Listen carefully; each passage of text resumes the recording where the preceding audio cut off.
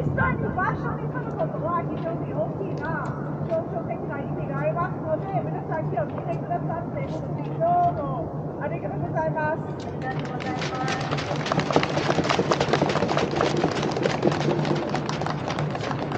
大学キャンパスを招致したり、もう不必要に戦いをしたり、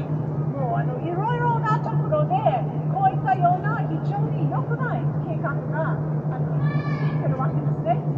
なので、神宮外苑は価値が高いから守りたいということはもちろんですけれども、もう一つの重要なことは、成功事例を作ることです。もう良くないあの市民が反対している開発を止めるという成功事例を作りたいんです。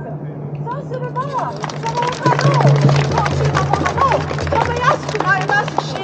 いろんなところで再開発に反対している人の後押しになると思いますので、そういった観点からにも、この戦いは非常に重要だと思います。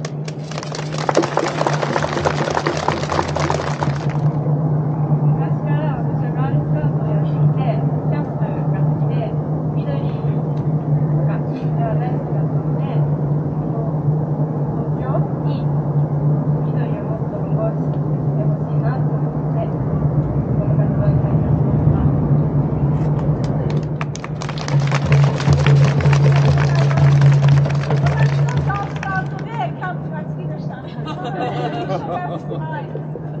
もガルスカートで。ああ、す、はい。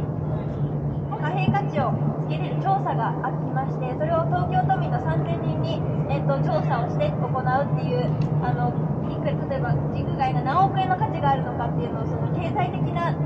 なんだろう、面でも企業とちゃんと議論の材料にできるようにっていう調査を今進めていまして、えっと、まだ調査を始めたばかりなんですが4月の半ばから後半までにその価値が明らかになると思うので、えっと、また私のツイッター楠本夏香という説明で私のツイッターにも情報をあげますしまたメディアの方にもリリースする予定なのであとアースデーだったりとかまたでもウォーキングを若い子たちとあの一緒に今まで活動してくださった方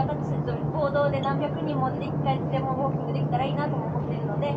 と、とにかくよろしくお願いします。